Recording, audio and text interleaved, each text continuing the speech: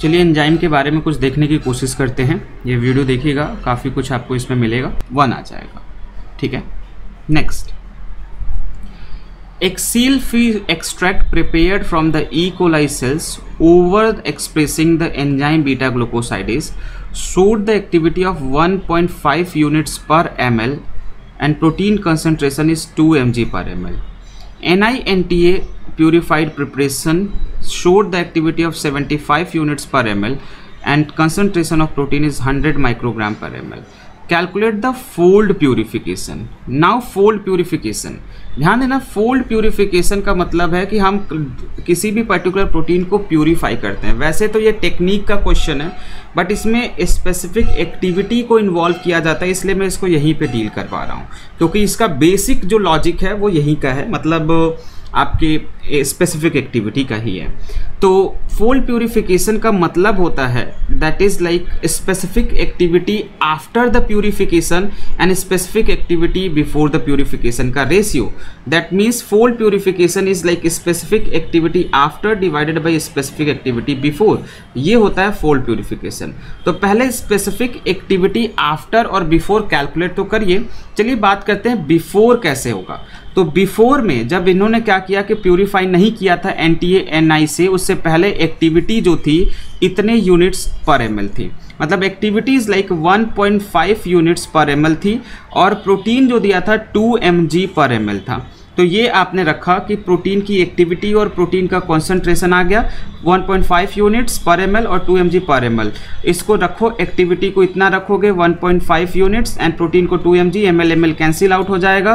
और तो ये आ जाएगा आपका ज़ीरो पॉइंट देखिए 1.5 divided by two that is 0.75 units per M G ये आ गया स्पेसिफिक एक्टिविटी बिफोर प्योरीफिकेशन जब आपने प्योरीफिकेशन नहीं किया था तो ये मैंने आपको पहले डिस्कस किया था one unit is also known as micromole per minute ठीक है?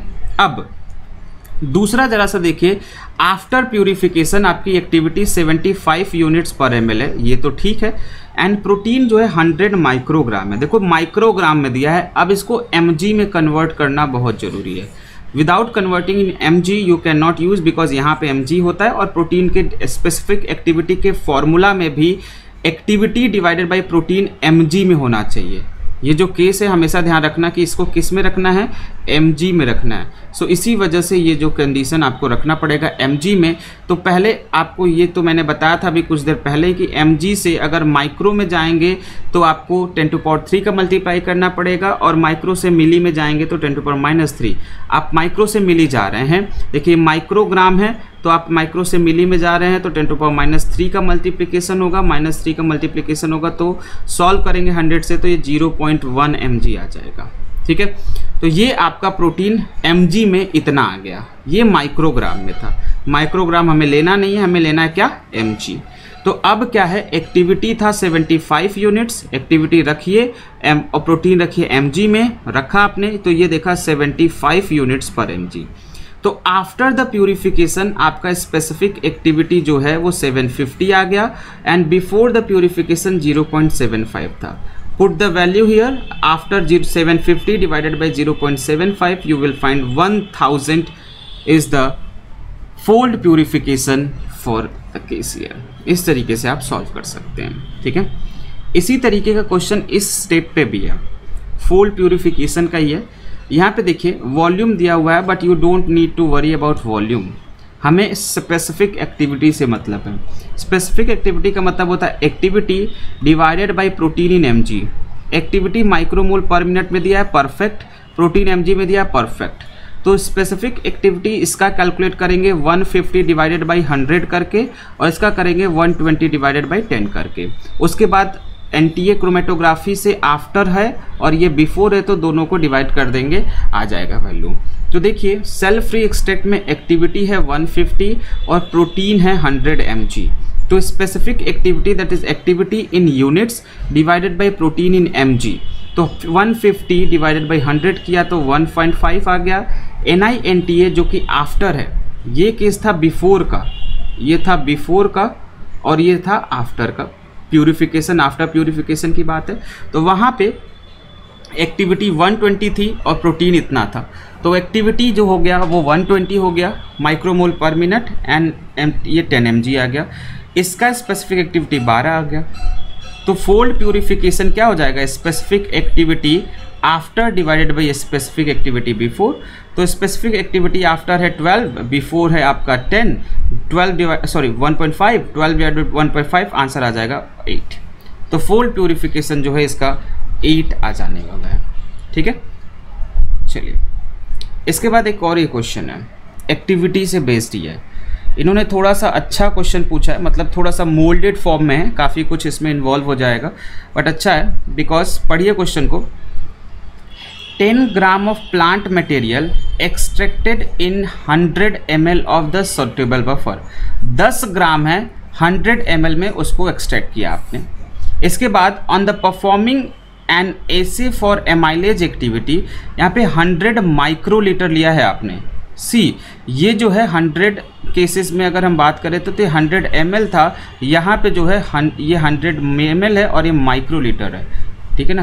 बी क्लियर यहाँ पे थोड़ा सा ध्यान रख रखिएगा कि ये माइक्रोलीटर दिया हुआ है कि 100 माइक्रोलीटर आपके 6 माइक्रोमोल ग्लूकोज को 30 मिनट में कन्वर्ट कर रहा है। और one unit enzyme activity define होता है कि one micromole glucose per minute लेकिन ये छः यूनिट को तीस मिनट में कर रहा है तो पहले आप एक्टिविटी तो पता करिए कि एक्टिविटी क्या है माइक्रोमोल पर मिनट उसके बाद ही तो आप वो यूनिट्स पर ग्राम यानी स्पेसिफिक एक्टिविटी पे जा पाओगे। तो देखो सबसे पहले आपको पता है कि one unit is equal to one micromole per minute ये आपने जब पता है। तो सिक्स माइक्रोमोल कन्वर्ट हो रहा है कितने मिनट में? थर्टी मिनट में। इसको six micromole divided by thirty रखो तो आपको आ जाएगा zero point two micromole per minute micromole per minute को हम क्या कर सकते हैं? यूनिट के फॉर्म में रख सकते हैं। तो ये आपका 0.2 यूनिट आ गया। बहुत ही आसान सा। आपने एक्टिविटी पता कर ली है। ये जो केस बना है, ये आपकी एक्टिविटी आ गई। बेसिक सी एक्टिविटी जो है आपने यूनिट में पता कर ली कि भैया 0.2 यूनिट जो है ये किस बनने वाला है। अब आपको वॉल्यूम पता, इसमें ग्राम पता करना है। लेकिन आपने जो सैंपल लिया था वो 100 माइक्रोलीटर लिया था और प्रोटीन का अमाउंट 10 ग्राम है 100 एम में। तो चलिए देखते हैं कैसे इसको करेंगे। यानी 100 एम में आपको 10 ग्राम प्रोटीन है। ठीक है 100 एम में 10 ग्राम है तो एक एम में कितना होगा? 10 बटे सौ करेंगे तो 0.1 ग्राम मतलब 1 M L has the 0.1 gram. ये आपको पता चला कि 100 एम में अगर 10 ग्राम है तो एक एम में 0.1 ग्राम होगा। अब, आपको 100 माइक्रोलीटर में कितना ग्राम होगा? हमें इससे मतलब नहीं है, हमें इसमें कितना प्रोटीन आएगा? प्रोटीन का अमाउंट इसमें कितना है वो पता करना है। तो 100 माइक्रोलीटर को पहले आप एमएल में करोगे। माइक्रो से एमएल में जाओगे तो 10 टू पावर माइनस थ्री का मल्टीप्लाई करोगे तो 100 microlitre will be 0.1 point one M L zero के बराबर है। तो अगर 1 एम एल में, जो हमने अभी ऊपर देखा था कि 100 एमएल में 10 ग्राम था तो 1 एम में 0.1 ग्राम था। तो अगर 1 एम में 0.1 ग्राम है तो 0.1 एम में कितना होगा? 0.001 ग्राम होगा 0.01 ग्राम। क्योंकि एक में इतना है तो 0.1 में उससे मल्टीप्लाई करोगे तो 0.01 ग्राम हो गया। तो ये आ गया आपका प्रोटीन ये आपका कंडीशन है, ठीक है ना? तो इन्होंने अब यहाँ पे यूनिट्स पर ग्राम बोला है एम नहीं बोला है, ठीक है ना? ये देखिए, ये ग्राम में मेंशन किया है। तो हम जो है ग्राम में ही लेके चलेंगे तो इसको आप यूनिट्स आपको पता था यहाँ पे एक्टिविटी यूनिट्स पर ग्राम में जब आप देखोगे तो यूनिट्स रखोगे 0.2 और ये रखोगे आपका that is like protein amount in gram protein को आपने क्या किया? ग्राम में रखा 0.01 that will be 20 units per gram will be the right answer ये है इस तरीके का आंसर ठीक है? तो इस तरीके से आप ऐसे क्वेश्चन को जो है आराम से सॉल्व कर सकते हैं. नाउ ये क्वेश्चन है. Again it is a very nice question that approximately let two experiments were conducted with an enzyme following Michaelis Menten kinetics. The substrate concentration 0.5 gram and 1 gram अगर सबस्ट्रेट जो है 0.5 और 1 दिया है बोल रहा है कि एंजाइमेटिक रिएक्शन जो है वो करीब करीब दुगना बढ़ जा रहा है तो हाइयर सबस्टेट कॉन्सेंट्रेशन पे तो K M of enzyme would be around अब देखो, इसमें कॉमन सेंस आपको लगाना है। न्यूमेरिकली आप दो इक्वेशन बनाओगे, दो इक्वेशन को लेके जाओगे, वो केस आप यहाँ पे कर सकते हो। लाइक यहाँ पे क्या है कि न्यूमेरिकली आप दो इक्वेशन बनाओ, उसके हिसाब से सॉल्व करो और फिर बहुत सारी चीज़ें जो हैं आपको अपीयर होंगे। लेकिन न्यूमेरिकली से बजाय आप इसको कॉमन सेंस से देखो कि ये बोल रहा है कि वेन द सबस्ट्रेट जो 0.5 ग्राम पर लीटर था विलोसिटी थी वी जो आपकी विलोसिटी थी v एंड अगर सबस्ट्रेट आपका वन ग्राम पर लीटर हो गया तो इसकी विलोसिटी जो है, वो आपकी डबल हो जा रही है। ठीक है ना? विलोसिटी डबल हो जा रही है। ठीक है? सो ध्यान रखो। एक चीज़, आपको ये पता है कि K M is the substrate concentration at which at which velocity velocity will be half of V max half of V max ये आपको अचीव हो जाएगा। तो मैं अगर इस केस को जो डबल वेलोसिटी हो रही है, अगर मैं फॉर एग्ज़ाम्पल जो है, ये मैं मैं नहीं बोल रहा हूँ कि ये वी मैक्स है बट ये बढ़ रहा है तो एक जनरल कंसिड्रेशन में इसका हाफ़ हो रहा है ये वेलोसिटी और जब हाफ़ हो रहा है तो ये कंसिड्रेशन अप्रॉक्सीमेटली जो है के एम के आसपास आएगा। अगर मैं इसको एज्यूम करता हूँ इसको एज्यूम करिए जस्ट फॉर एग्जांपल इसको एज्यूम करिए कि ये वी मैक्स है। तो इस पर वी मैक्स का हाफ़ वी है, क्योंकि ये टू वी हो रहा है तो टू वी से वी आ जाएगा हाफ़ इस पर जो सबस्टेट कॉन्सेंट्रेशन होगा, वही के एम होगा। तो K M can be like ये जो है ग्रेटर और इस पे 0.5 के आसपास आएगा। और नियर अबाउट जो इसकी वैल्यू है, वो है ज़ीरो पॉइंट आपका वन क्योंकि बाकी तो देखिए, ये खराब है, ये ये वन के आसपास जो है आपको मिलने वाला इसको आप जैसे जैसे वेलोसिटी अगर सबस्टेट बढ़ने पे आपकी जो वेलोसिटी भी डबल हो रही है, इसका सीधा सा मतलब है कि आपका के जो है सबस्टेट के अप्रॉक्सीमेटली इक्वल है। तो के जो है अप्रॉक्सीमेटली सबस्टेट के इक्वल जाएगा एंड दैट मीन्स अप्रॉक्सीमेटली जो है 0.5 या इसको हम बोल सकते हैं कि वो आपके वन के आसपास जो है आने वाला है। ठीक है ना? अप्रॉक्सीमेटली तो ये चीज़ यहाँ पे यूटिलाइज करना है। ठीक है? ना इसके अलावा जब हम बात करते हैं, ये क्वेश्चन दिया गया कि assume that the reported have the इसके पास के की वैल्यू 10 मिली मोलर है एंड वी मैक्स की वैल्यू 30 मिली मोलर है। Assuming that Michaelis Menten kinetics reaction velocity at a substrate concentration 20 milli molar तो बहुत ही सीधा सा है सीधे माइकलिस मेंशन का ये इक्वेशन यूज़ करिए। क्या कि आपने V max into S K M plus S V max की वैल्यू दिया हुआ है आपकी 30 के एम की वैल्यू 10 सबस्टेट की वैल्यू 20 वी मैक्स की वैल्यू रखा 30 एस की वैल्यू 20 के एम की वैल्यू 10 सबस्टेट की वैल्यू 20 हमने यहाँ पे यूनिट देखा भी नहीं क्योंकि सबकी यूनिट सेम है। इसका भी मिली इसका भी मिली इसका भी मिली इसलिए सीधे वैल्यू पुट कर देनी है।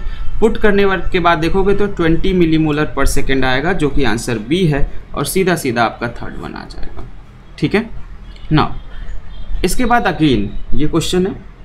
पूछा जा रहा है कि the mean cellulase activity of seven Bacillus strains isolated from soil was determined to twelve international unit per ML वैसे तो ये क्वेश्चन एंजाइम में पूछा है वैसे, लेकिन ये है मीन मीडियन मोड वाले कॉन्सेप्ट का। कि सात बैसिलस स्ट्रेन का जो मीन पर्टिकुलरली एक्टिविटी है, वो आपका बारह है। ठीक है? पूछा जा रहा है कि एक हाइपर प्रोड्यूसिंग बैसिलस जो है आइसोलेट किया, जिसकी एक्स्ट्रा सेल इस एक्टिविटी जो है वो 36 है। अगर हमने इसका और इस आठवां जो हमने लिया, इस सबको मिक्स कर दे if equal volume of supernatant of all eight strain are mixed then what will be the mean cellulase activity तो आपको मीन के ऊपर बात की जा रही है। देखो, आपके पास जब पहला, ध्यान देने की कोशिश करिएगा this is first second third fourth fifth six, seventh. ये सेवेंथ जब थे तो ये आपके पास इसका ट्वेल्व ट्वेल्व ट्वेल्व ट्वेल्व, सबका ट्वेल्व चल रहा था, या एवरेज मैं ले सकता था कि एवरेज जो है ट्वेल्व था। तो ट्वेल्व इंटू सेवन करते तो टोटल एक्टिविटी इनकी एटी फोर थी। बिकॉज़ इनका जो है, मैं एवरेज जो है ट्वेल्व था, और ट्वेल्व में ये सेवन मल्टीप्लाई करोगे तो इनकी जो टोटल एक्टिविटी थी, वो एट्टी फोर थी। अब इसके बाद जो आ जाता था कि हमारा एक हाइपर एक्टिविटी वाला आया, हाइपर एक्टिव बैसिलस स्ट्रेन, जिसकी एक्टिविटी 36 थी। इन सब का मिला के चौरासी था और इसका अकेले 36 था। तो चौरासी और 36 यानी 84 36 जोड़ दीजिए तो पूरे आठ की एक्टिविटी 120 आ गई। डिवाइडेड बाई आठ कर दीजिए तो एवरेज आ जाएगा मीन आ जाएगा। तो that will be 15 international unit per ML ये आंसर आ जाएगा इसके लिए। तो answer two will be the right clear है ना competitive inhibition of enzyme can be reduced by अभी मैंने ये चीज़ डिस्कस करी थी कि कॉम्पिटिटिव इनिबिशन को रिड्यूस किया जा सकता है increasing the amount of substrate अगर एक एंजाइम पे सबस्टेट के कॉन्सेंट्रेशन को आप बहुत तेज़ी से बढ़ा दिया तो इनिबिटर जो होता है, वो इनिबिटर जो है, वो वो बहुत आसानी से बाइंड नहीं कर पाएगा। Inhibitor will difficult to bind and substrate जो है तेज़ी से बाइंड करेगा और कॉम्पिटिटिव इनिबिशन जो है रिड्यूस हो जाएगा। क्या हो जाएगा? कॉम्पिटिटिव इनिबिशन जो है, वो आपका रिड्यूस हो जाने वाला है। This is the condition next which of the following enzyme can hydrolyse ester and amide bond ऐसा कौन सा एंजाइम है जो हाइड्रोलाइज कर सकता है एस्टर और एमाइड को? That is a chymotrypsin this is one information ध्यान रख लेना, ये काइमोट्रिप्सिन जो है, वो दोनों हाइड्रोलाइज कर सकता है। Chymotrypsin is one of the enzyme जो कि एस्टर बॉन्ड को भी हाइड्रोलाइज करेगा एंड एमाइड बॉन्ड को भी हाइड्रोलाइज करेगा।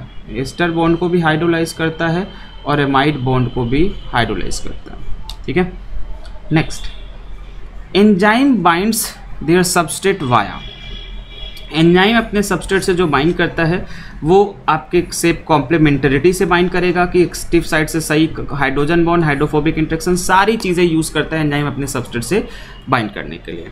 अगर एंजाइम काइनेटिक्स में एंजाइम का कॉन्सेंट्रेशन डबल कर दे तो के नहीं चेंज होता है ये अभी पहले पुराने में मैंने आपको क्वेश्चन आया हुआ था, जब मैंने बताया था कि एंजाइम बढ़ता है तो के पे कोई फ़र्क नहीं पड़ता वेलोसिटी जो होती है वो इंक्रीज होती है क्योंकि बाइंडिंग अफिनिटी पे कोई भी फ़र्क नहीं पड़ता तो ये जो है सही है। इसके अलावा इसमें कि एंजाइम यूज्ड इन ग्लूकोमीटर जो होते हैं they are used for the glucometer में जो ग्लूकोज लेवल को मेजर करने के लिए होता है, वो होता है ग्लूकोज ऑक्सीडेज ग्लूकोज ऑक्सीडेज जो होता है, यहाँ पे चलता रहता है। इसके अलावा वाइटामिन में जो है वो आपका कोबाल्ट कंटेनिंग जो वाइटामिन है, वो होता है B twelve B twelve is a cobalt containing vitamin so चलिए होप कि आपको काफ़ी कुछ समझ में आया होगा। मिलते हैं नेक्स्ट वीडियो में। टिल देन बाबा टेक केयर एंड ऑल